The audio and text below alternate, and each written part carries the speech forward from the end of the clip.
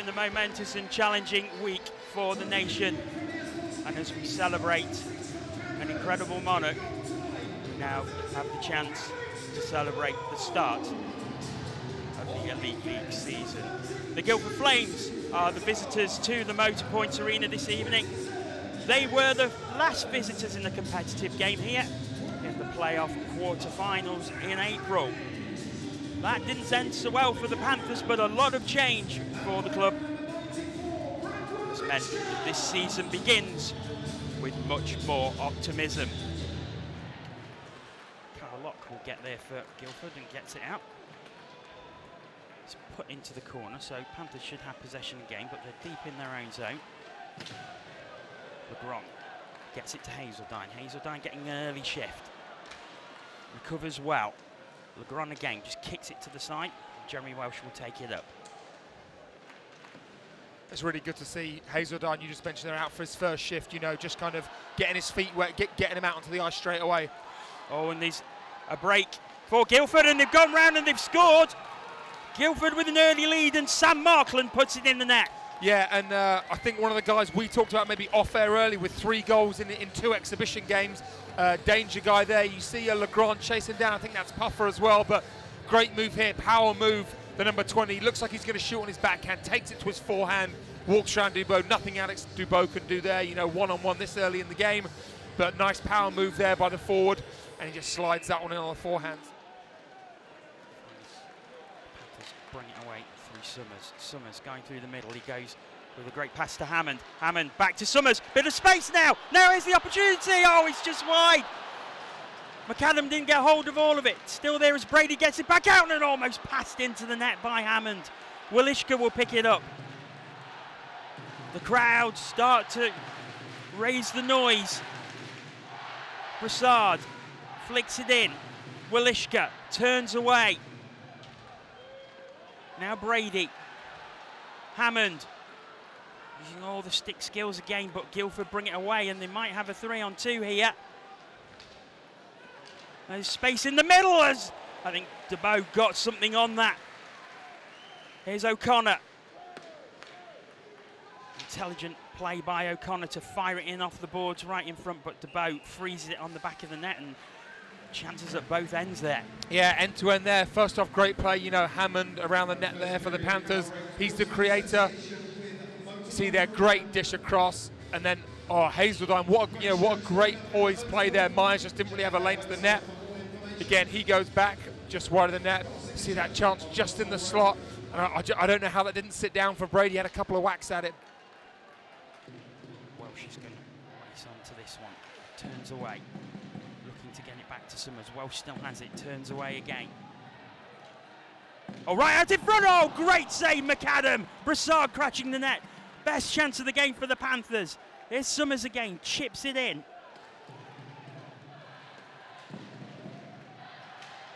This is better from the Panthers right out in front, and it's there! It's in! They do get the goal, and Tanner Sorensen gets his first goal in Panthers colours. Yeah, and just seconds before, a huge save there. And you know, you thought the Flames had, maybe escaped with that big save, but a little bit of a mix-up behind the net. You see here trying to go D to D, and then Puffer, great play here. Could go for the for the wraparound, but you see he's got his head up, and he just slides that across there for Sorensen, and he's not going to miss that one. And I thought at the start maybe he'd hit the crossbar the way it jumped straight back out, but he knows. You can see there. Myers moves a face off, it stays in the zone. Kelsall turns away. Hopkins, Hopkins taking the shot but was closed down really well. Hazeldine gets back. Oh, he's beaten to it, and now here's the opportunity. Great save to. Tedesco was bearing down. I didn't see if um, Dubeau made the big pad save or maybe the puck just kind of jumped at the last minute, but we'll just see here. He gets in again. Nice move. Goes to his forehand. Oh, no, yeah, he definitely gets the stick in there. Dubeau does a great job. Rippling up. Looking for the inside pass. It comes right back out in Oh. front and it misses everybody. And now Panthers come the other way. Here's Brady. Oh, now a chance for the Flames to break two on one. Ericsson is taken away from him though, poked away. Brady picks it up, Goes for Hammond. Got Willishka with him. He drops back for Brady. And it's in! Adam Brady finds the corner. And Brady opens his account for the 22-23 season. Let's have a look at this again. Great drop pass by Hammond. And Brady Oh, it gets a big deflection off the stick, deflection. I doesn't it? think Yeah. it maybe have gone in off Willishka. Yeah, either him or the defenseman maybe, because you see the first deflection off the off the D-man's stick, and then it kind of shoots across and then in. So he's probably too fast here, full speed. But you see here one deflection. Yeah, I think it might be Willishka. I think it's Willishka. Think it goes in off his skate. Yeah. Here's Johnston. Johnston still. Comes back to point for Gagnon. It runs off his stick now and goes into neutral ice. Gagnon still has it. Gagnon again.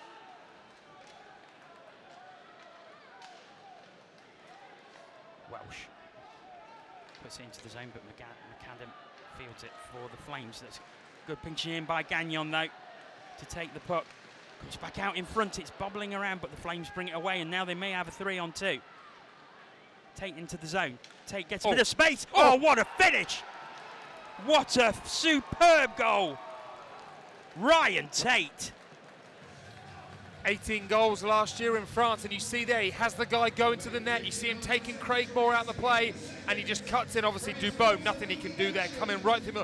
And I remember at the start, the start of the first, Tate, great speed. He was taking the body, great kind of role player here. But you see him just pick this up, head down, pushing that defense, uh, the Panthers' defense back, and you see his line mate here. Just he does a great job going to the net, and it just opens it up for Ryan Tate. Yeah, and it was kind of, it's- been a bit of a theme, I would say, this game so far, where, you know, one team has two or three minutes camped in the zone, chance after chance, and then, you know, then the Panthers would have one. Now the Flames have just had their one, and it's kind of gone back and forth in that way. But, you know, Panthers definitely, I would still say, have been on top for, for more of the game, but Shot from Legloire, it's loose, and couldn't quite get onto it. Puffer. And now Flames come away. It's three on one. Real opportunity. Oh, what a save, Dubeau! Incredible save. And there it is. Yeah, I was just about to say the save of the game, and there it is, Alex Dubois. We, we've talked about his his speed moving, you know, laterally, and huge save there. Great, great play. Flames get a three on one. Almost thought there he was going to try and look for this number five here, but he gets that across, and you know he's got to try and get that up to beat him. But Dubois flashes across there, kicks out the pad, and huge save by him.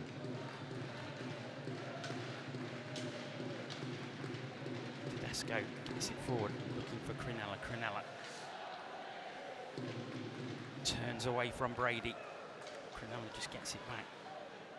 Tedesco again. Just hands it off. And it's Crinella. This is great play by the Flames. It's fired in. Oh, what a shot and what a goal! And the Flames take the lead again. Gr- great play again, just great movement in the zone. And, and I think there, Corella there does get the deflection in front. You see it come back to the point here. And there's a lot of traffic. Doesn't waste the shot, gets it through. I'm just trying to see. I think it looks there. You just see a little, little deflection from Crinella.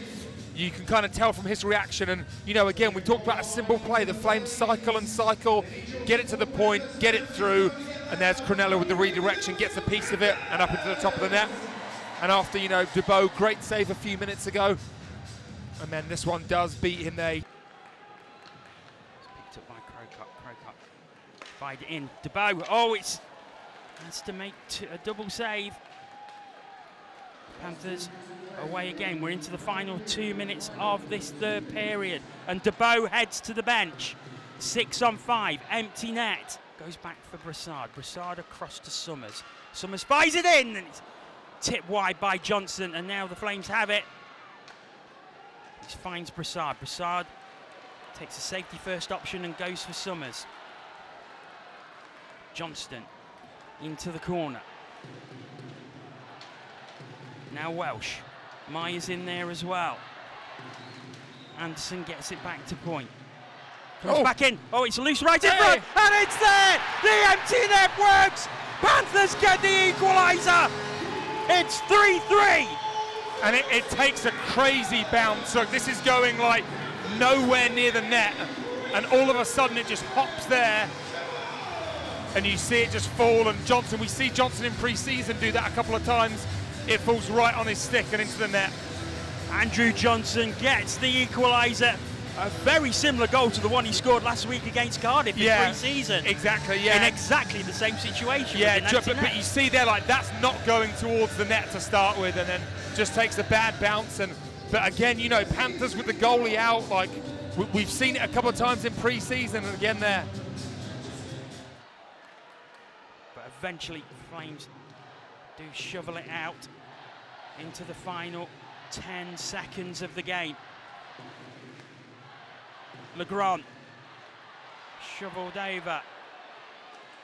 And out it comes, and we are going to go to overtime. So 3 3 at the end of three periods. And the game will be decided by three on three overtime. And if it's still level, we go to the lottery of penalty shots. I think I think Mike Hammond's uh, Mike Hammond's my my one to watch here in overtime with that extra ice, Yeah. the space, the skill. Maybe not scoring, but I just think he'll be very dominant. Also, Dougie Legrand, obviously a defenseman, but skates so well. He's almost like having another forward out there. So, yeah, I, I will. Uh, I'll keep my eye on uh, on Mike Hammond for sure. So it's Flames who have the puck as we start the overtime period. Looking for Tate, but it's with Hammond. Hammond will go across to Legrand. Wilichka goes forward. Legrand goes back for Hammond. And here's Wilichka. And he's right in front. Here's Hammond! Hammond wins it for Nottingham! Mike Hammond, the man who can do it, and he's done it.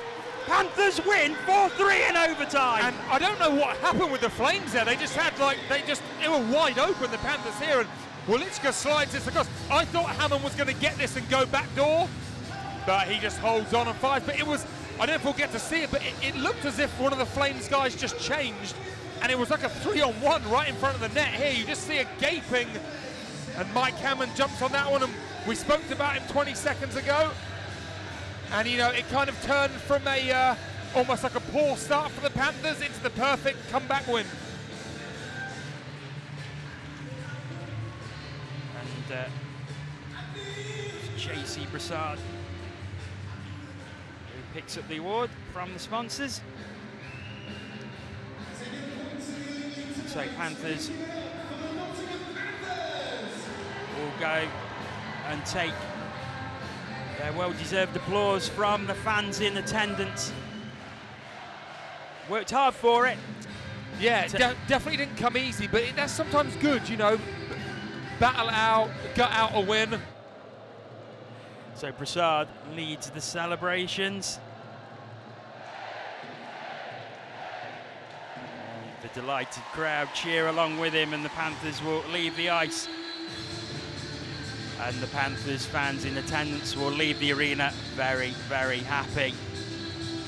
on Panthers TV with Jeremiah's Chimney Sisters, joined by head coach Gary Graham. Gary, I know you're not fully thrilled with the performance, but you couldn't have scripted a better league home opener.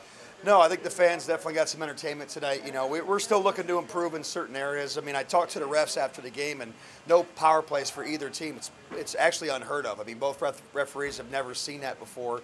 Uh, but it just goes to show you that both teams were extremely on their game, disciplined, checking with their legs, not reaching, hooking, holding. You know, there were some good hits during the game, so it was an entertaining game. But we just got to eliminate the mistakes that are really costing us. I mean, again, the first goal we basically hand them like trick or treat candy for free, and you know we've been doing that a couple times, and you know we just got to make it harder on other teams to score.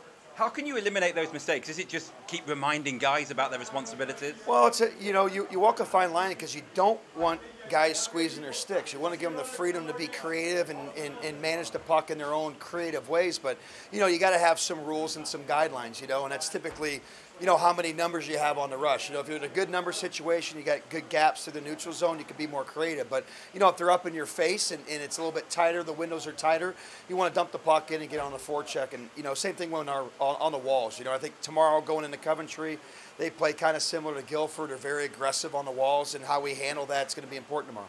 How much credit do you give the guys for sticking in? And you know they scored with just over a minute remaining, and then got that jump for the for the overtime. How much credit can you give the guys for what they did there? Well, you give the guys all the credit. I mean, I sure as heck don't deserve any of it. I wasn't on the ice. I mean, it's all the guys. I mean, that's what that's what they're paid to do a job, and they went out there and, and they were more resilient than them, and they got the job done. But you know, tip your hat to Guildford. They came in, they were prepared. Obviously, Paul's a heck of a coach, and um, they had a good game plan against us, and you know, ultimately we got the extra point. I think you talked about this pre-game about their speed. That that was very evident early on, wasn't it? Yeah, well, you got to let the puck do the work. I mean, if you try to you know dipsy doodle and hang on to the puck, you know they're their gophers on the forecheck are going to get you and they're going to cause some turnovers. And that's what happened at the beginning of the third period. We got away from our game plan. We started trying to be a little cute on our breakouts, and, and they really caused a lot of chaos in our own end, and that's uh, where they got some momentum. And then we got back to our game, moving the puck quick, and we're a little bit better in transition when we move it quicker. I know we talked about this before, but the support again, it was another big crowd. How much did that help to kind of roar you on in the closing stages? Uh, it helps tremendously. Yeah, I mean, and obviously when you can win an exciting game and reward your your fans. I mean, again, the fans are they're the ones who pay our pay our bills. I mean, and the guys know it, I know it, and uh, without their support, we'd be nothing. So, uh, you know, it's always good when you can give them an exciting first home game. And just finally, Coventry again tomorrow. You've already seen them on the road. What sort of game are you expecting? A good game. You know, Danny's a heck of a coach, and, and he'll have his team ready. You know, I think last game we got in a lot of penalty trouble. We had about 12 minutes on the penalty kill last time, and uh, you know they got they had 18 shots on goal on assists from their power play. So you know they got a good power play. They got some some good half wall guys that can hurt you. So you know uh, we got to be disciplined tomorrow, going in there on the road and make sure we take care of the puck. With JC Brassard of the Panthers after that 4-3 overtime win, what a way to win it! Yeah, it was definitely an entertaining one. I mean, the boys played well, I think, a couple breakdowns, but it's great to get a first win on the first game on home ice in front of a great fan section. It was a, a real back and forth game. It was like the Flames seemed to have a lot of pressure, Panthers had a lot of pressure, then back and forth, back and forth. It was a, a, really strange game in that way. Yeah, I mean, they're a very offensive team, and so we tried to play a similar style, I guess. We're very offensive as well, and uh, it just worked out for us a little bit better, but they're very dangerous on the rush, and we just did a, a good job of holding them only three goals and taking advantage when it counted. Another empty net goal, almost a carbon copy of the one last week. It's not a play you want to use too often, but it's a play that seems to be working well for you. Well, it's definitely good to know that it's a pretty reliable play because when you get down like that and you need a goal, it's good to have you know a set of guys you can rely on to you know put the puck in the net and even up the game and get ready for overtime. Of course, a late goal and then you go into overtime, so that really gave you some some momentum going into that overtime period. Yeah, definitely. It definitely uh, it's a lot better to get the goal than to be the one getting scored on and then having to go into overtime almost deflated. So I think you know it gave us a boost and it deflated them a little bit, and we took advantage when it counted. How much momentum does that give you going into tomorrow's game against Coventry? Oh, it's always a lot of momentum winning the night before, especially on home ice. It you know gets the boys feeling good and gets us excited to play the next day. And of course, a, a rink you've already won in in pre-season. Does that give you a lot of confidence going in there in in, in a league game? Uh, yeah, I mean it's definitely uh, it's definitely a different rink than we play at here, and uh, a little different size ice, and you know uh, shorter glass. So it definitely takes a little bit to get adjusted to, especially in the first couple shifts early in the season, and with a new team that hasn't played there very often. But um, yeah, I mean it's definitely good for momentum for us, and uh, I think we should do well tomorrow.